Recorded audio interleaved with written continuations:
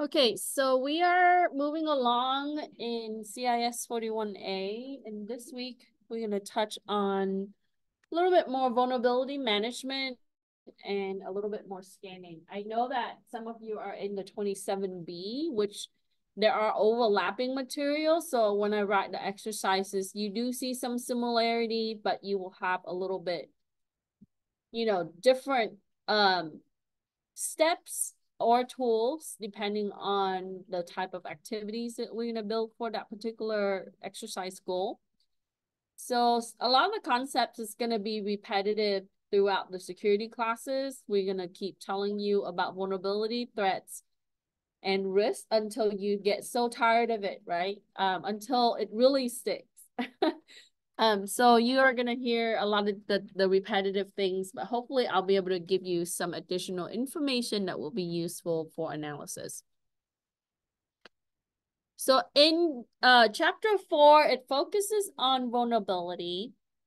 And in vulnerability management, you are going to aim to identify, prioritize, and remediate or reduce the vulnerability for, for your organization so that the attackers cannot exploit the vulnerability and damage your assets.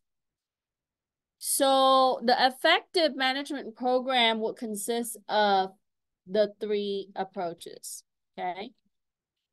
And from a perspective of an analyst or a pen tester, uh, you would see that you would need to scan the assets for vulnerability. And we're talking about system where you can perform the scan.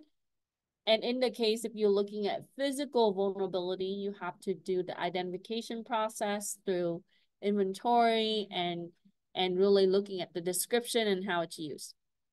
But we're talking about system now, right? Like could be application, it could be server. So we can scan the enterprise assets for vulnerabilities. And you basically have so many different types of scans. We can use Nessus, Nmap. Uh, today we're going to do a, a few scripts that's going to tie back into vulnerability assessment. Um, and there are other tools that are specific, right? If you have learned about Nikto, you can use that for web-based or web server, web application. So we can use the tool to perform the scan and we would use a defined workflow to remediate. So that means that you have a layout steps on how you can reduce the vulnerability in different area and how the impact of that would be on other steps or other systems that are related and you would continue to assess and manage your vulnerability. And this is not a one step and you're done for the year, right? We would have to continue to do that throughout the time that we're using our system. So to answer the question for number one, it says, why is vulnerability management important in an organization? And we can say that it helps the organization understand hi, the current state of security by identifying, prioritizing. So that means that you can quantify based on, you know, how severity, the severity level, right? You can also qualify based on like low, medium, or high in priority and remediate vulnerability. Sometimes we cannot remove it completely and we're going to have to accept that, right? For example, in order to run a certain type of software, that software is built with some vulnerability and there's no patch for it. So you still have to assess it and you would need to find ways to reduce the attack surface by looking at that vulnerability. What else can we do to make sure that it's not going to be an area that's going to be attacked or capitalize on that vulnerability. So it tells you that to remediate vulnerabilities before the attacker exploits them and undermine the confidentiality, integrity, and availability of the organization assets.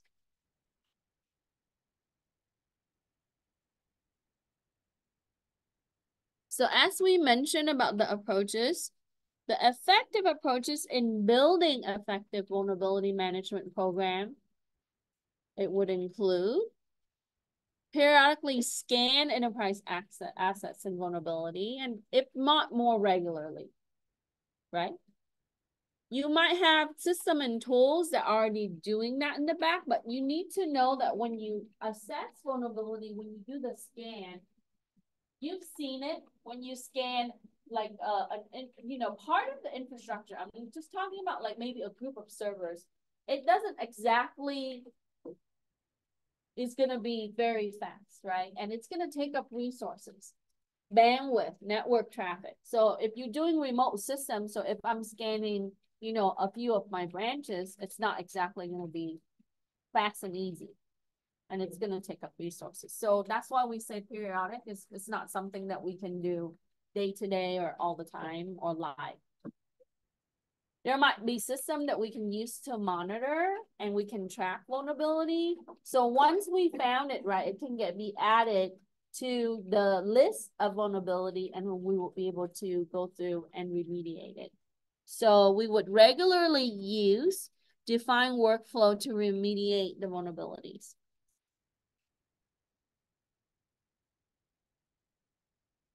And we would need to manage assets and provide current state of the enterprise security. So as an analyst, this is going to be the area that you operate. Okay. You have to regularly looking at the impact of these vulnerabilities with the goods and you know the assets in the organization, the system, the people, could be physical space and so on. And so if you have a huge gap, you must address it. That means that if you have low security, because you have many vulnerabilities that are found that's not addressed, known vulnerabilities, right? Then we must address it based on the priority.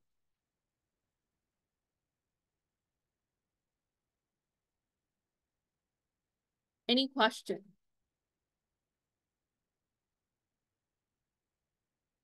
So we'll do a few scans today. Hi, a little bit like CS27B. I want to expand a little bit on it, right? Showing you, you know, similar, the same tools we're using. Because basically it's the same group of tools that you're going to see throughout.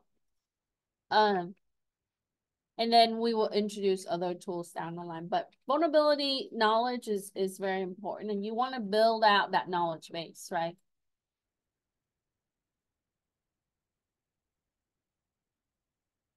So when we find vulnerability, it's still part of the recon process, which is the first, the beginning step for assessment. Okay, let's go back to the notes. So here it talks about, bless you, um, identifying the requirements and a lot of this tying back to the regulation body, right? Compliance requirement for your company. Um, we don't just do it because it's fun or, you know, this is required and how often you should do it. Sometimes it's not required, but it's good practice. So I list here the organizations that actually require some of the areas. So for identifying requirements, you need to look at internal and external requirements. Internal meaning the companies, how they would be able to maintain operation based on vulnerability scanning because we reduce, um, you know, the, the area of attack by, by mitigating or reducing vulnerability.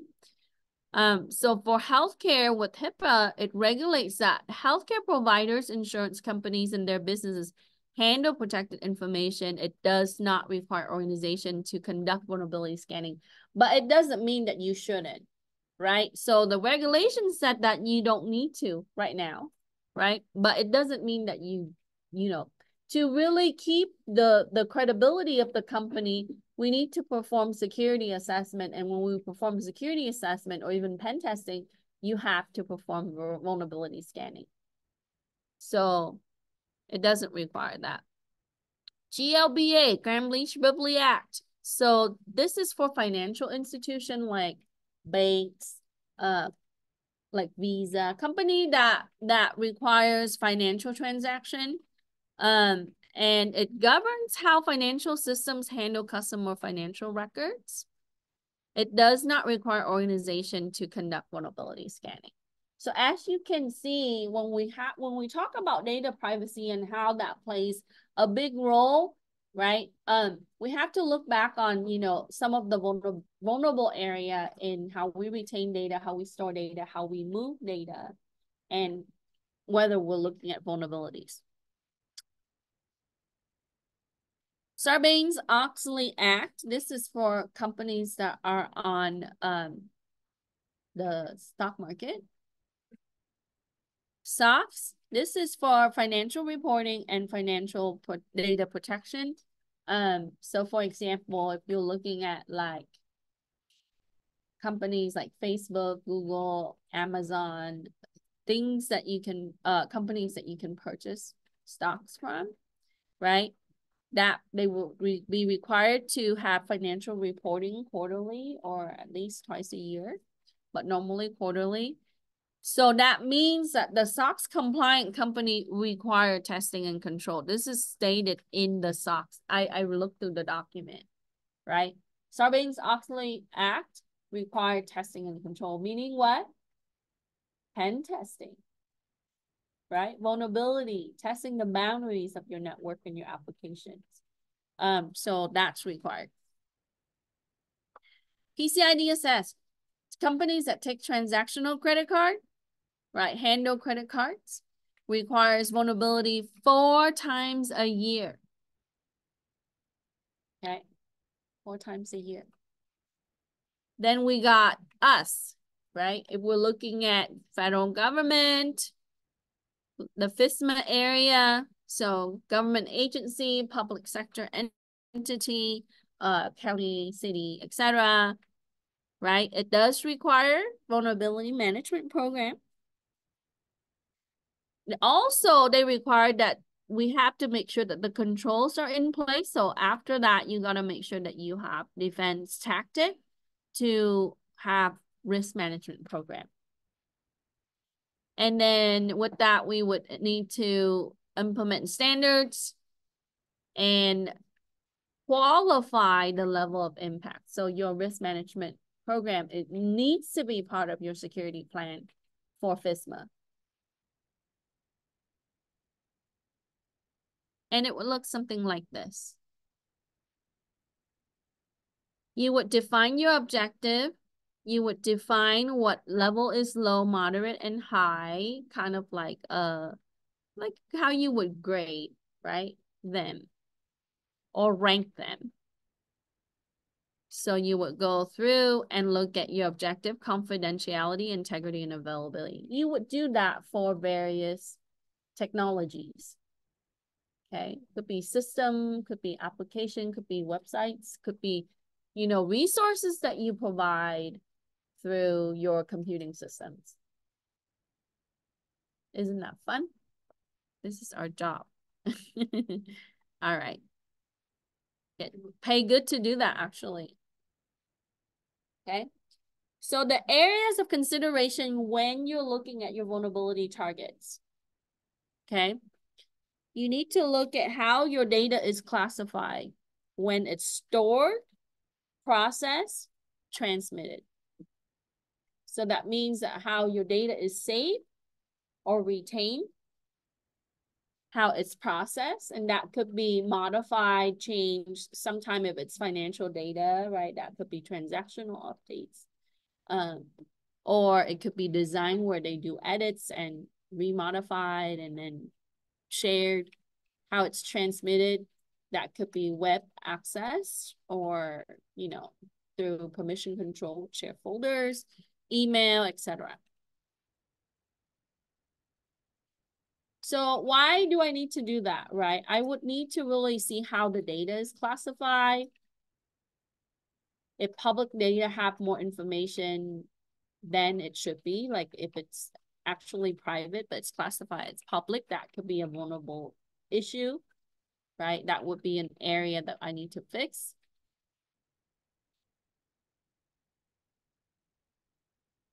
Oh, I, I I forgot to mention number four, but number four, you saw that with the notes. So for FISMA, how should vulnerability assessment be implemented in the, the federal agency? Your information system and hosted application are scanned for vulnerability to determine enumerating platforms, software flaws, or improper configuration. Those are the vulnerable areas of those things in general. And we saw, you know, that's a requirement. So in, our, in order to pass your IT audits, you must have that. And if it says so many times, that's what you need to have documented that you have done it at this time throughout the year.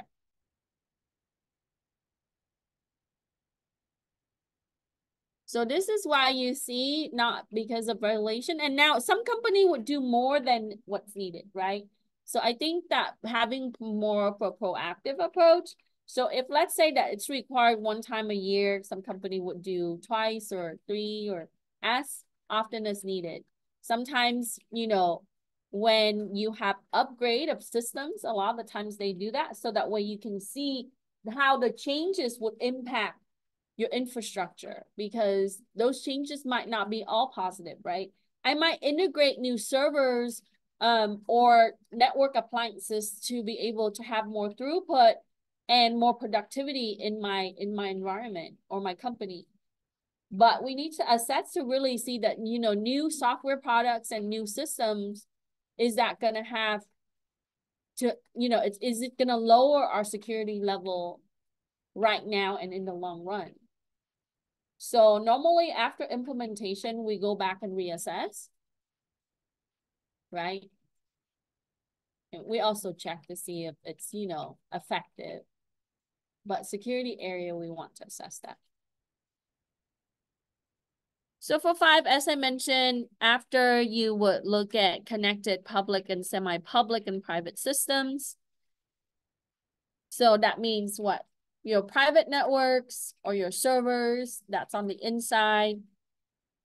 And then you have your public servers and your systems. And then you have the DMZ, right? Public facing. Sometimes you would have intranet. So those are the things that really needs to be assessed. the services that are being used by the system. So let's say that if I have an FTP server and it's been there for 30 years, I want to assess it. And over time, I need to do that, right? To see if there's a need for it, if it causes any vulnerability in my environment, because that's an open port and that's an open service that we made available. Now you can retire a certain service, but you have to you know, transgress to it. You can't just turn it off, right? We want to make sure that we gradually do that so that way the user is not truly highly impacted, but at the same time, you know, if it's if it's causing a lot of security impact or high impact in security, that is a priority. So you have to make a decision on how soon that we need to turn that off. What is the level of impact with the users and our operation compared to how you know somebody can go through that service and be able to attack us and take us down? You have to look at your system role in production testing and development so a lot of the decision and the recommendation coming from the well the recommendation coming from the analyst and going to the decision maker is really going to have to look at a lot of these areas on how the, the vulnerability management plays in the big picture of your company financial impact.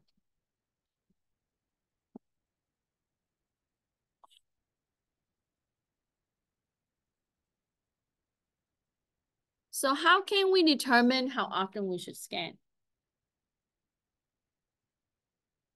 And what kind of information that needs to be scanned? So the type of information that would allow us to determine the frequency in your scanning is going to be your risk appetite. How much are they willing to accept? Okay. And as I mentioned to you before, risk is usually quantified to the dollars. So let's say that it would take more resources for them to manage that risk, uh, a uh, $100,000, where they can just accept that risk and pay a $25,000 fine, then they would accept the risk and pay the fine. Okay. But if let's say that to fix a problem, right, to reduce that risk cost them a $100,000, but then the, the impact of the security, if they don't reduce that risk, will cost them more than a $100,000, then they would fix the risk. Okay. That's obvious decision, right? So as an analyst, you need to accumulate that list of risks. Provide it to your managers and the decision maker and say, and this would be quantified to this much. Bless you. If we accept this risk, right? For example, unpatched software, our software is still working, that's fine, right? But if, if that software is crippled and it's not going to impact other software and, and so on, then this is how much money we're going to lose. And so they would compare and they say, okay, right? We're going to look at the regulatory requirements. We touched a little bit on that earlier. Corporate policies inside your internal requirements technical constraints. So example, right? You might have older system, legacy system servers are still running, but you cannot do much to um to scan those, right? And or reduce the vulnerability in those because software has been maybe retired, no no no no longer supported, but you still need the software for maybe like historical data. So sometimes system constraints with hardware and software, you have to look at that. Compatibility issues with OSs and so on. Because upgrading software means what? Big dollars. Okay, upgrading hardware, same thing. You upgrade hardware, you have to upgrade software because they go together. So when we implement upgrade, it just means big dollars. And then that can also change your security landscape. And then your license limitations. So these are some of the, the things that would play a big role in how you would determine how frequent you can scan. Any question? Okay, so now um, I added a link to the standards. So if you're interested, you can take a look at the federal processing standards. Um, so all of these things have been provided through NIST um, publications. So in this industry at this point in time, you already have a lot of things established for you. You just need to reference a lot of these documentation to be able to build out your security plan.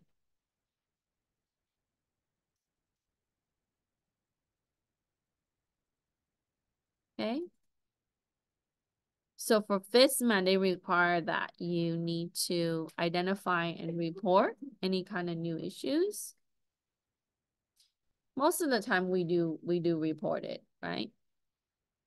And your tools would allow you to do that.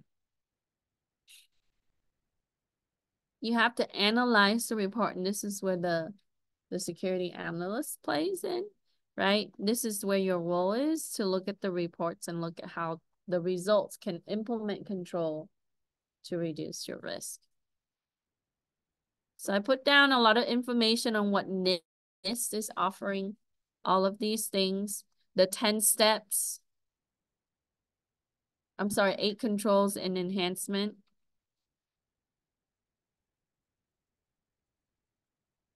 And then identifying targets, we just answered that question. So, so here's a screenshot of Nessus. This is made by Tenable. If you get the professional version, I think it runs roughly to the $4,000 per license. Uh, I think it's over 2000 I believe.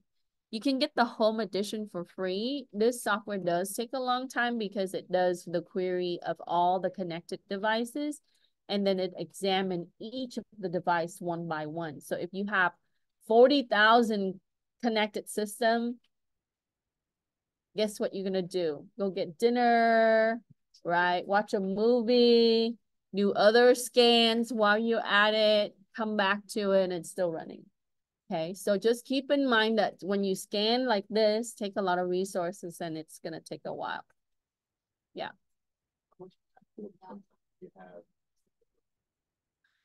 Um, depends on your role. So yeah, a lot of times when you are scanning things, you don't really have a huge window. Um, you know, scanning sometimes require you to, to kind of take a lot of network bandwidth so we don't do it during operation. So it, they will tell you, oh, this is the company kind of closed between whatever, but IT is still working, right? Uh, let's say at 10 p.m. to 10 a.m. and you you have that time. And if it doesn't finish, you're gonna have to kind of build out whatever the report is. But sometimes you can take an image of that system and then scan it. That's another way. So you have to be creative and think out of the box. How can you address the problem in that window of time? Okay. Because you're like, oh, I can't do my job because it's going to take four or five days or a week. That's not the answer, right? They're going to say, find another job. so we're going to have to think about, oh, we can take an image of it. We can play it into a virtual machine or put it on another system and then we can scan it. And then at that moment in time, you would have some kind of result. Um, so active scanning and passive scanning, I think I talked a lot about this, right? So for uh, your active scanning, very noisy. That means that, you know, the it, it will, it's not stealthy. The system will see you. That's correct. And you can accidentally exploit the vulnerability and interfere other system functions, right? So that might cause more damage. So just got to be careful. And then if block my firewall or network or controls. You're gonna see that today when you do the lab. At one point, I'm gonna have you disable the firewall because you can't you can't see proxy or whatever, right? And sometimes that needs to be done. And then the passive scanning is stealthy and the, you know, it won't see you. So your scope is important. How much can you scan? What's the extent of the scan? How many system or which system can you scan, technical measurement of the testing system, and how many tests can you perform. These needs to be approved, authorized, and documented. And when you scan, you document it. This such and such system, I'm talking about host name, all of that, even if it's 50 characters, you're going to have to write it down, okay? No shortcuts.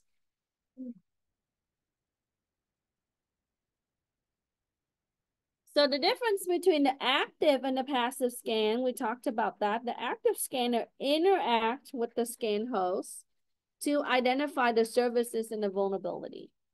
The passive scanners monitor the network and uses similar techniques as intrusion detection system to identify signatures outdated systems, applications, and report the results to the administrators. So main difference is the interaction, right?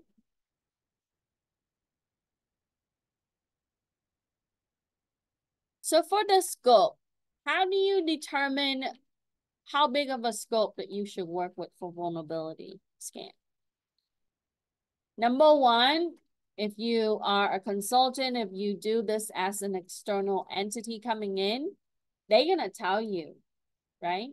Sometimes you you have to help them with determining that scope, but a lot of times they're gonna tell you, oh, we want you to scan these. So if you need to decide, you would say that the, the scope is gonna be the the type, the amount of the systems is gonna be how you're gonna measure for the test to be performed. So if let's say that you only your area is only going to be for database, that's what you're going to do, right? We do not look beyond our scope. That's the scope that we are set to do. Even if you sometimes you can, sometimes that's linked to other things, right? Like your web applications because it's tied to database. A lot of the times database is linked to web app. That's how you can access the database. If they ask for a certain segment or certain systems on the on the network, like certain servers, your scope will be just those. And so that means that you can segment your scope for increments of scan. You don't have to do everybody all at once. That can be a lot and it would take a lot of bandwidth and resources on your enterprise network.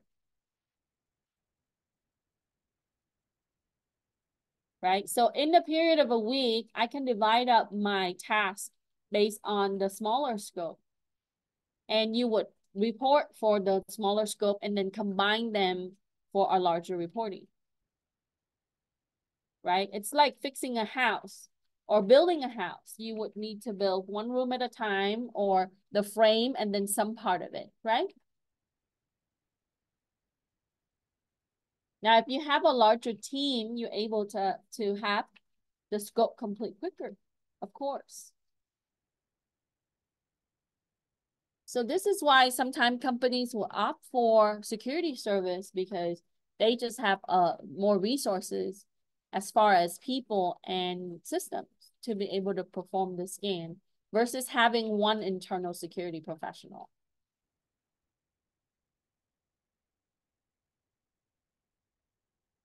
Any question?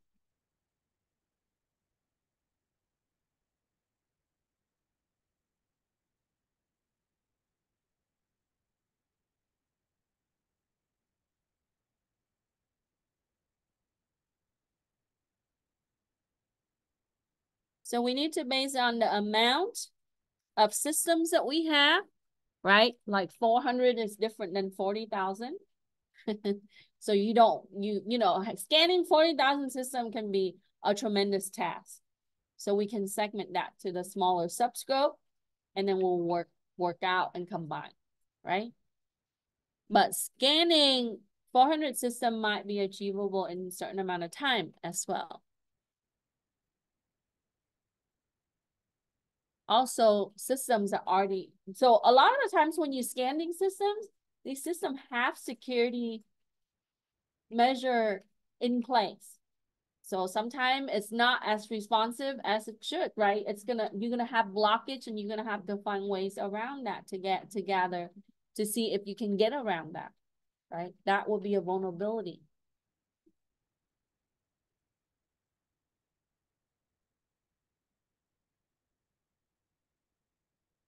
So is it okay for me to just run Nmap for all the computers? It's fine if you just want one perspective, right?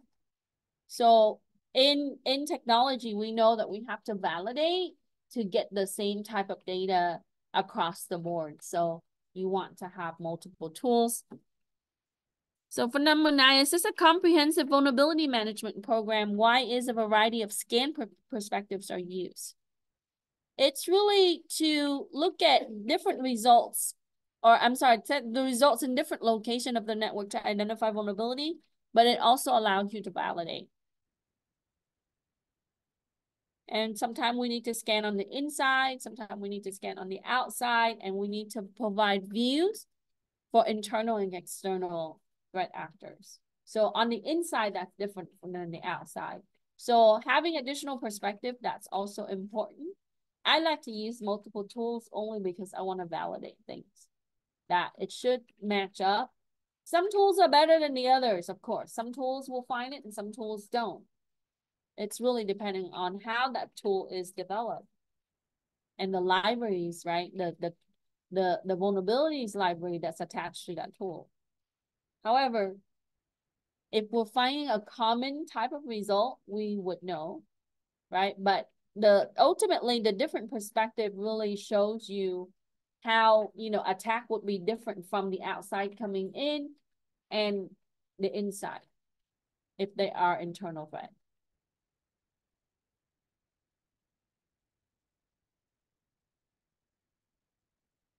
So just like any kind of software that we work with, regular updates, patch, and plugins is a must, right? So for example, if you're using Burp Suite, you know that it uses Java. Right? So where do I go and find this information? In the development tool documentation, it tells you everything that you need to know about that software. What kind of plugins that it needs, what kind of, you know, additional resources that's required for that software. So when you update the software, a lot of times, you know, developer would integrate like updating with the software packages that's used.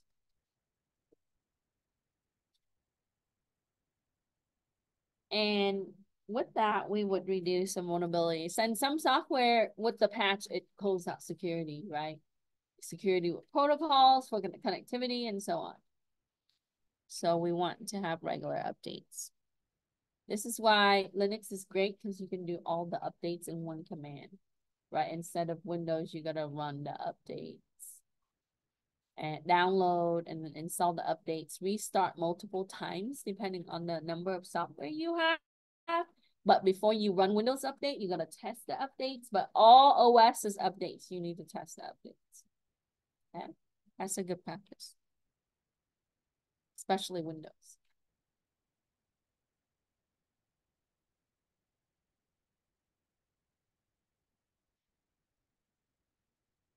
So here it shows you a little bit on how sensitive you want the scan to be. And just like any scan, you're going to have false positive and negative, right? Sometimes it detects it, sometimes it doesn't. Sometimes it over detects. So in my opinion, no software is really perfect. Um, and then for the network scan, we touched on this before, right? So looking at OSs, databases, application credential scans, connected systems, connected services. For the active scan Nmap is a really good one for that. And here it talks about perspective. So for the external scan, it is required by PCI DSS, the credit card ones, right? The one that accepts credit card transactions whether you're doing on online or you know the actual physical card or apple pay etc any kind of payment system would be required through pci dss so they require that you have an external scan. And it needs to be conducted by the approved vendors. So many requirements right so for the maintenance, we talked about all of the, the patching, the plugins, and then here's the workflow that we mentioned earlier. So the remediation workflow, this would allow you to prioritize what's vulnerable, what's first and what's not, right? Your priority high, or sometimes company would call it critical. And that way we can track and automate so we test, detect, so test to find it, and then remediate it. And we would do a rotational basis so you can do a schedule scan. Some of this can be automated too, right? You don't have to sit there and click start, start, start, right? You can, all of these tools, most of them have APIs, which is wonderful. And you can just add it to your script, right? Put in your target server or systems so the difference between ongoing and continuous, continuous does monitor and check the changes in vulnerability, and then ongoing is like schedule basis.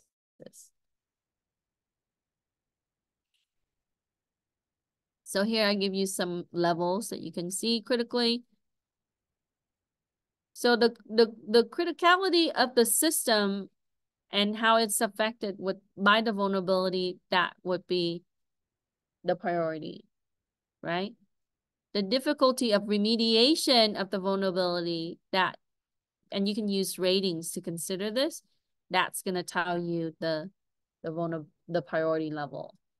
How severely is the vulnerability, right? You can use the, the CVSS, the common vulnerability scoring system. Most of these documented, they have a scoring system, um, especially if you're looking at Mitre right? And then exposure of the vulnerability, potential exploit, is that a common exploit?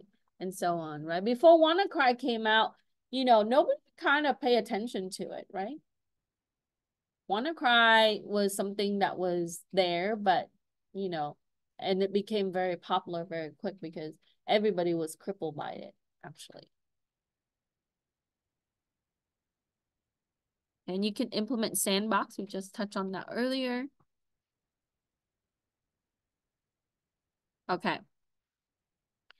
So we talked about um the maintenance, like updates, patch plugins, and keep up the CVEs and reduce the bugs.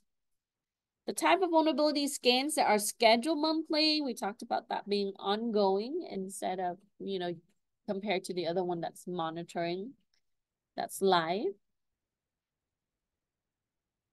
And I think that is probably a choice, um, you know, depending on the resources that you have in the organization, the the the people that can, you know, report or the system that can report, right? Now we integrate some system that have AI.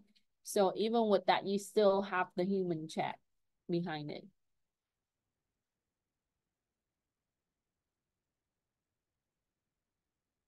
So how is the vulnerability report used for remediation? So what's the outcome of this, right? You write that up that that document and it lists all of these vulnerability information and how we can go through. So we would use that to be able to remediate.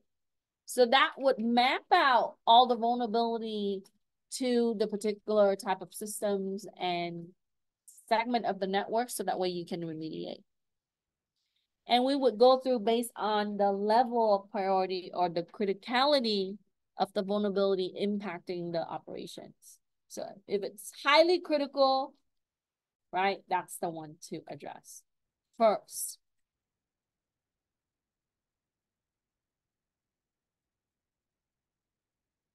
I like using quantification, um, but you know, some a lot of times you do so see some area that qualification works.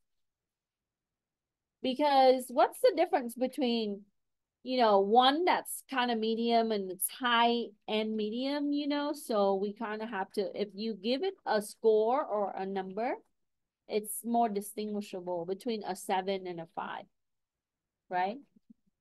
Or a six and a five. And you can also give a range of the score in the qualification if you if you're looking at like the impact level. We'll do some of the exercise when we do the risk part. So for 13, how should vulnerability remediation be prioritized? Um, we addressed that through the notes earlier based on critical levels, difficulty of remediation, severity level, and exploitation potential.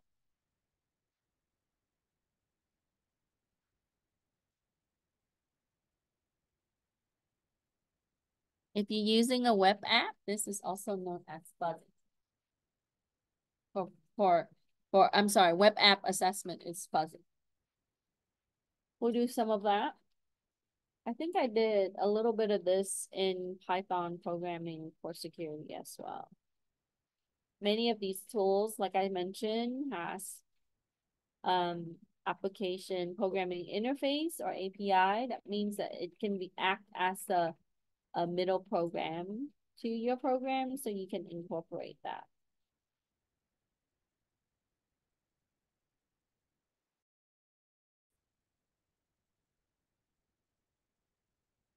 And they have BuzzDB. They have a lot of different tools that you can use.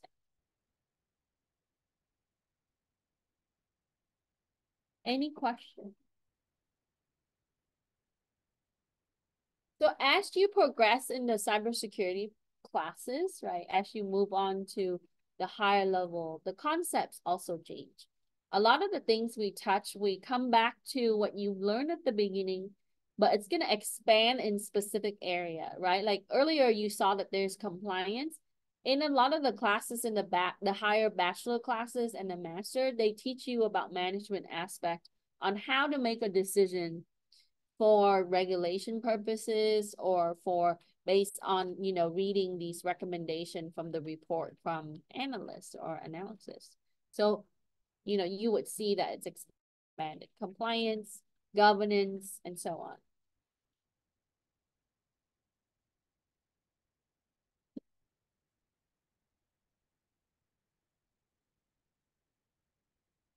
Question. Okay, so let's come back here. Um,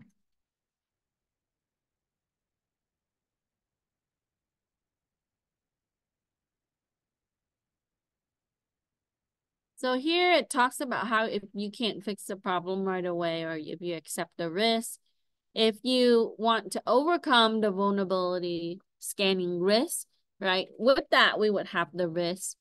Um, you know, here it talks about how you can tune scans to to use less bandwidth uh, because scan does use a lot of bandwidth. You can schedule the scan when it's not during operation hour. For commitment, you need to have an MOU, it stands for Memorandum of Understanding and Service Level Agreement for the expectation of performance. So let's say that you work for a company and they ask you for a decision whether to hire someone to do this internally or pay for a service and they decided that they're going to pay for a company to service it make sure that we establish this right um, and in that, you for the service level agreement, you would need to state like the uptime, the performance, and the security to be fulfilled. So coming in as a contracted individual, this is expected of you as well. Okay. And if you don't meet that, basically no pay because no, you don't meet service license agreement or service level agreement. The governance, so you have to have implement governance and change management processes because we talked about how when we have change, right? Uh, and then how what we would need to have control and how we manage our infrastructure. I put down some of the links for you for some of the scanning tools. These are the more popular one these days, but you Open VAS um, is fun. So we'll see some of that. So today we will perform fuzzing through Nikto, and I, I don't put this in the proper term for my, my pen testing class yet because, you know, but Nikto is used quite a bit because it's an easy tool to use. Um, we will have a Z attack proxy down the line, but today we're just gonna do a, a burp suite with uh, with a little bit of proxy listener. The wireless assessment, you can use Aircrack NG.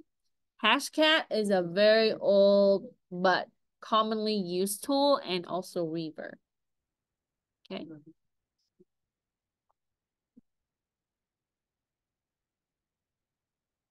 Okay, so we talked about fuzzing for 14. For 15, the type of tools for web applications, we mentioned Nikto, and you can do proxy interception with Z-Attack proxy. There's Proxify um, in Kali Linux. So it changes, right? Like I said, it grows and sometimes they remove some tools that, you know, they don't, they don't are no longer supported.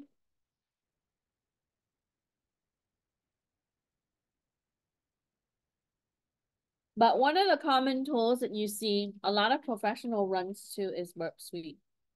And unfortunately, the the free one without registration for an account, you're not going to have too much of access to it. But if you have access to the whole Burp Suite, Burp Suite, you you see that it does the features are really it's worth it to to use. Portswigger, they put up some tutorial videos for this, so uh, you can go to their website and look up some information, and they have a series of videos on how you can use it. So this is a these are so when you learn these tools and practice these tools and you learn them well, right? Like I give you some of the steps so that way you see that it works and it can be used for scan. And we move on to the next tool. But you have to revisit and use it if you're going to put it on your resume because they will ask you a question about it. And you don't want to not know the answer. If not in advance uh, for that tool, but at least like you can tell them what you have used it for and how you use it. Okay, so it's important that you you repractice these tools. So the wireless.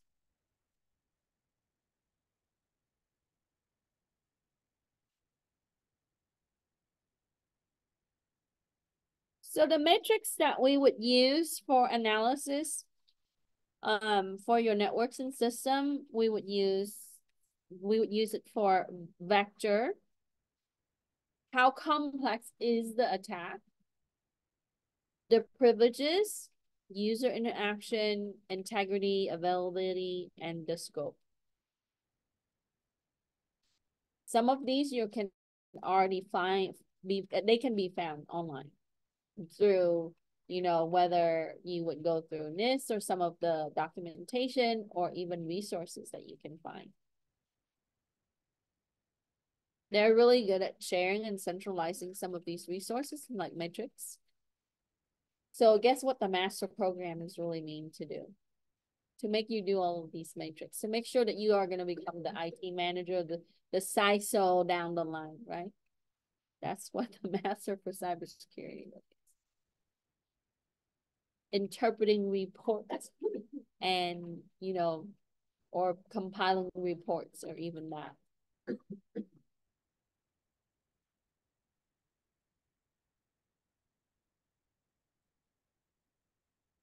Any question?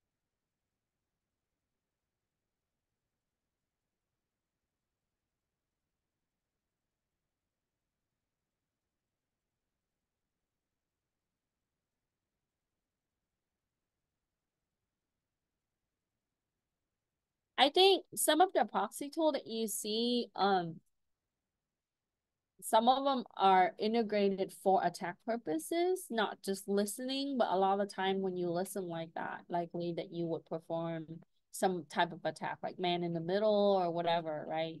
Um, so make sure that we research the tool before we use the tool because some of them are not really aimed for just scanning. It's scan and attack, right? So they're very active.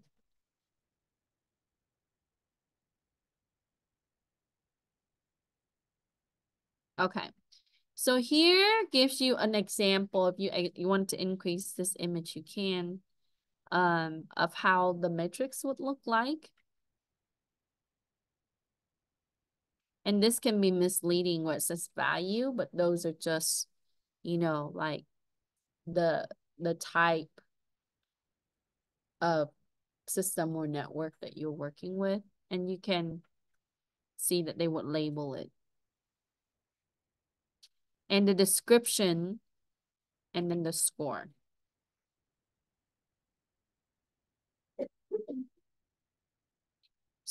So this really tells you the exploit potential is the score. The higher it is, the the more priority that becomes. Okay. And then for the, the that's the vector. For the attack complexity, they also have a score for that. So each of these, like each of these metrics would represent the area that it's supposed to fulfill. So think of them as lists, and then you would go down and define each of the lists. And on that list, you would state how exploitable they are and their score. Require privileges, so it would look like this.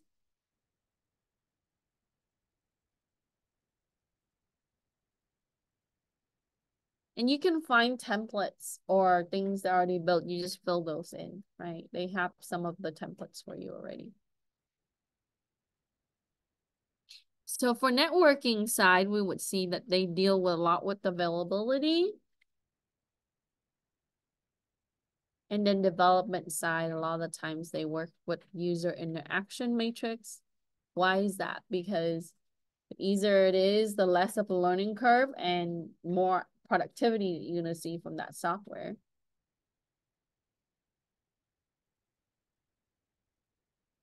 Okay, so let's look at the at how we would calculate these things. So we want to calculate exploitability, impact, and impact function scores, right?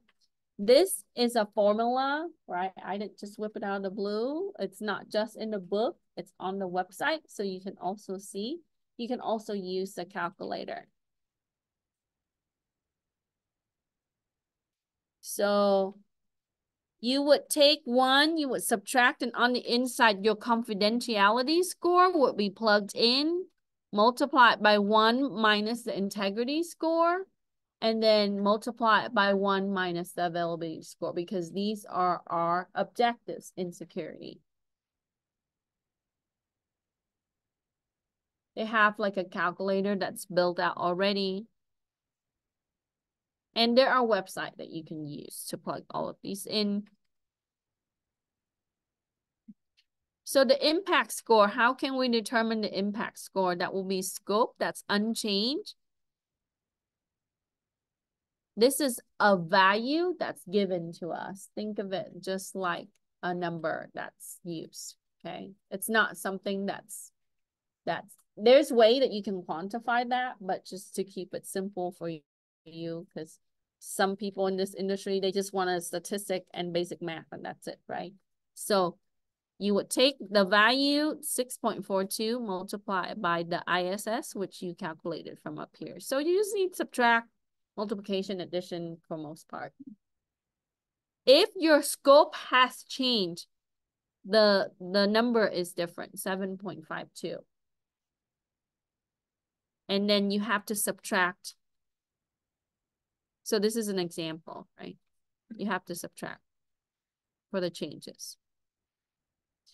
Then you get the sub score, and this is also 8.22 is a fixed value that you would take and multiply by attack vector, attack complexity, privilege required, and user interaction. Okay, so let's do this. So given the score, determine the impact subscore.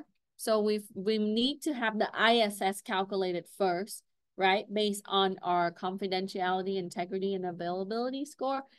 Many of these, the, the, the score ranking, you know, that comes from your analysis results from your analysis system. So many of the software that you see from SIEM would be able to provide this for you. So given that your confidentiality is 0 0.65 integrity is 0 0.35 and availability is 0 0.00, how do you calculate the ISS? So I put the formula there for you again. You can copy and paste it from the notes so you remember. You just plug in confidentiality, which is 0.065 here. So I'll highlight that for you to see. And then your integrity was given 0 0.35.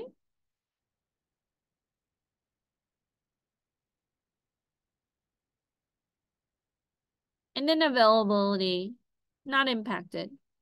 So 0 0.00.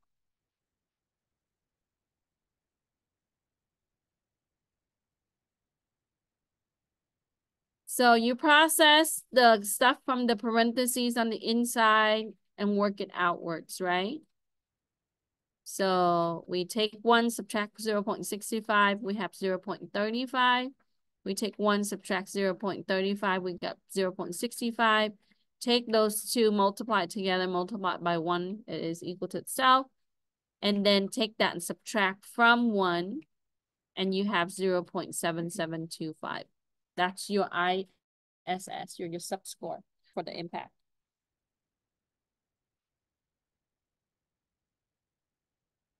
Then for the next step, we're going to use the result, which is 0 0.7725. And we're going to calculate the, the impact score. Because remember that this first part for number 17, that's just a sub score, right? We're only looking at the sub score for these three.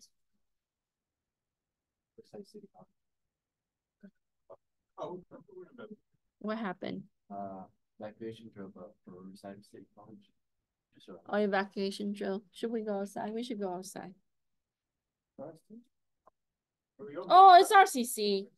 Never mind. I was like, Riverside? We're not Riverside? Oh, thank you for reminding me. I was like, I don't want to stand in the dark outside for nothing. okay, so once you have the sub score, earlier when you look back at the note, you just take the impact, assuming that we don't have any changes, right, in the scope. So in scope creep, sometimes, you know, you can add and subtract things. Um, while you're doing it, that would change your scope. Okay.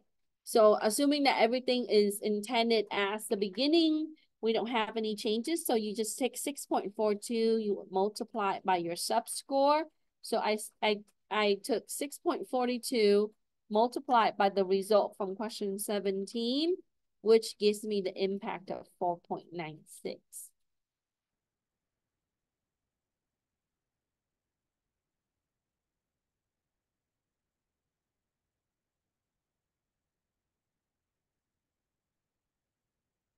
Any questions? You will be expected to calculate this for our final exam and certification. They do ask you about, you know, what the impact sub-score, but I don't think they require you for calculation, pretty sure. Um, this is good for the, your job. So want to make sure you know what this is, right? You can really impress an interviewer by telling them that you know how to calculate vulnerability impacts.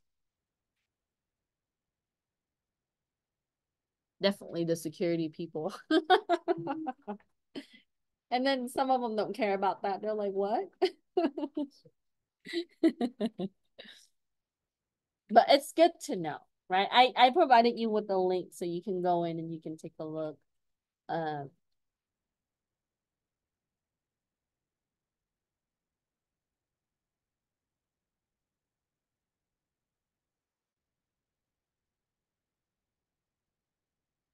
So now, after we have 18, we're going to move on and we are, so, so your first step is to determine the impact subscore of the vulnerability based on your report, right? CIA. After that, the next step is to calculate the impact score, not the use using the subscore, whether to have changes or not, right? And and the value when that multiply is different between scope change and no scope change. Then the, the third step is to calculate the exploitability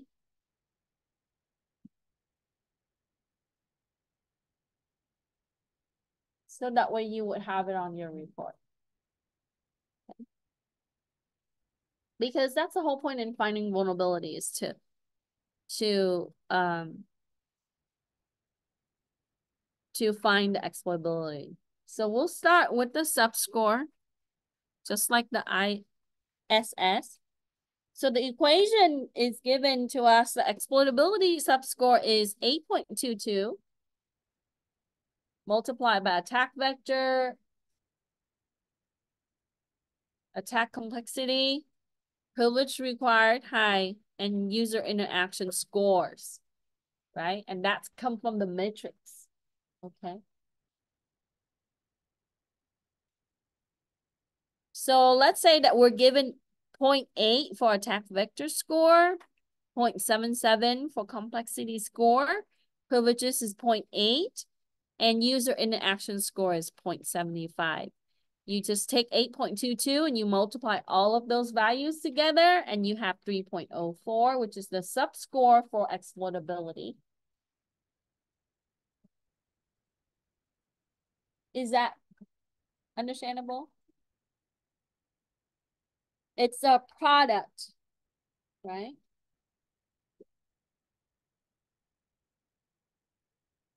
So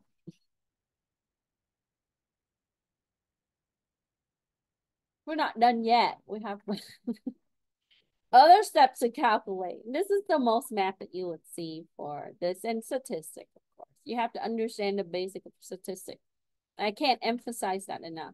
They're going to make you take stats if you major in cybersecurity.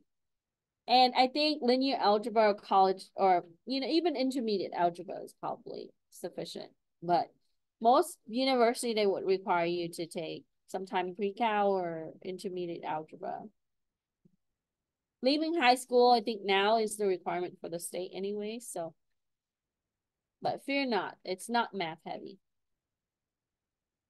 but it's technical heavy, right? Like you have to know the tools, the steps, the things like your second nature. Any question?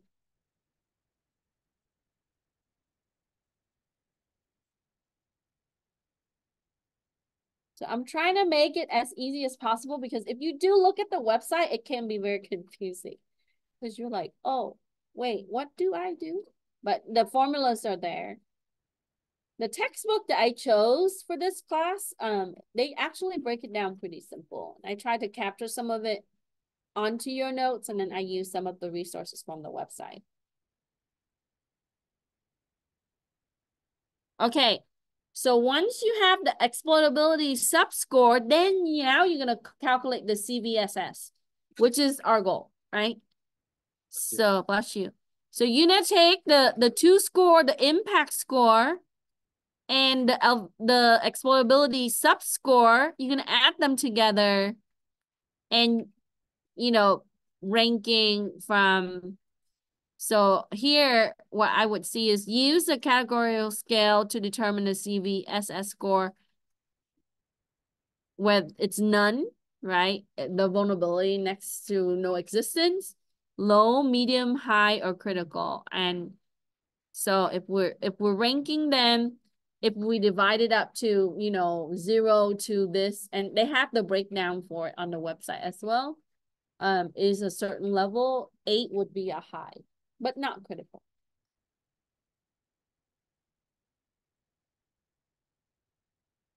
So can something can something severely go wrong by not doing this correctly? Yes.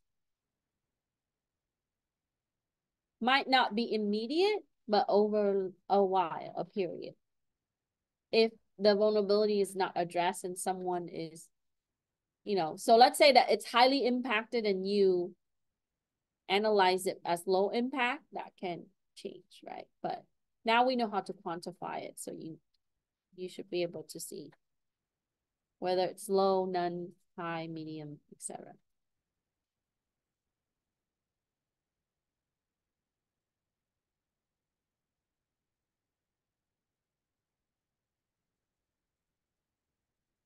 Let me move 20 down in case you're still working on that.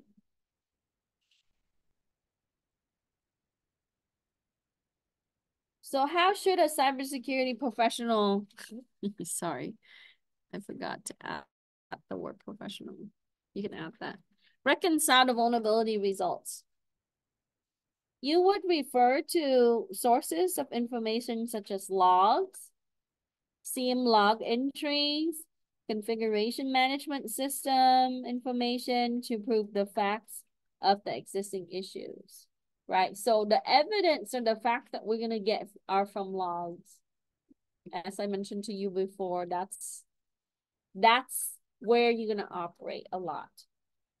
So you have to get used to reading logs, looking at different types of logs, looking at configuration management system, so configuration management system, it does an inventory of what was configured, what kind of settings for certain type of services or, you know, applications and so on. So the information is provided to you. So if you can make that process of just analyzing logs and, and looking at this type of information a little bit more streamlined, your job will be a lot easier, right? Like there was a question to me earlier, what is expected to be the time? Really, it it's really depending on the scope of the system and you know how and we have to consider like the amount and and all of that, right? But you have to work smarter than harder. That's my advice for you. Also think out of the box right? What are, and always think about like, what are other alternative ways to address or to achieve the same goal?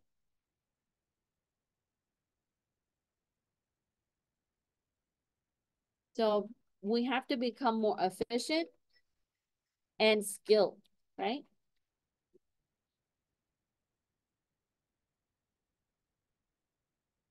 Okay, we're almost, almost done and then I'll let you have a break and then we'll do our not too long lab. It seems long, but it's not. And I hope it's not won't be as frustrated as last week. I tested that one. The you, you know when I taught it last, I should have done a little bit more testing. I just didn't have time to test it before class, and it kind of fall apart at the end. But this one I did test it, you know, all the way down to birth, so you should be all right. yeah, this is why people like to use cloud-based lab where it's very controlled, right? They use a specific version. Yes, I can have you download the last year version of Kali and, and do the same thing. Um, but when you update, it changes because software updates and we need to update our software to use the latest tool, right? We just talked about that. So we want to practice what we say. And I want to make sure you you know the current stuff right? Because you're like, oh, Dr. Nguyen showed me how to do this, but it doesn't work now. what do I do? Need to troubleshoot. Okay, so you saw the calculation and then the categorizing of CVSS score. This is standard, right? So you would see that here. This is where I came up with eight for high. And then we talked about, you know, positive report, false, false positive, where it your positive report contained vulnerability. Your false positive report contain vulnerability that doesn't exist. Okay. So you're overcautious in that type of report. The negative report contain does not contain vulnerability that exists. I'd rather operate here than here, but ideally you should be accurate right? So we need to confirm the report, check your logs, and that information is here on page nine. You need to learn the trends, right? These are some of the areas you need to look at and some area takes a while, right? So to look at the vulnerabilities, missing firmware updates. This happens in a lot of IoT devices. So if you have IoT devices, right, check in that area, more web-based applications and so on. It goes on, the list goes on. Now for web app vulnerability, you're gonna see the CVE today, right? When you scan when you see the CVE, it's to show you whether it has, you know, some kind of cross-site scripting. So XSS for cross-site scripting, there are different types. So persistent means that it stored the attack code on the server, where reflected is that it sends the user somewhere else. And then directory traversal, this is used a lot by inserting a path into the query so that way you can go into like a folder that contains password or secret information for that web app. And with that, you can use it for credential stuffing and password spraying. So I'm giving you some additional term here. These might come up for certification purposes. So make sure we know, right? Password spraying is to use a list for login. Those are pre-made lists and that can be integrated with different form of attack and then the credential stuffing is to log into different websites. So you know how some people say have the same password uh, and they use it over and over again across many different websites? Well, credential stuffing is that, right? They, if they know one password, they're going to try other apps with the same password. So session hijack, take over the session by finding the key and the cookies information to gain control. But everybody gather cookies these days, so we hope that they privately keep your data and maintain it securely. But it's questionable, right? You saw the requirements is minimal, so sometimes they operate minimally. Okay, I'm gonna stop share. I'll be right. Um, let me stop record.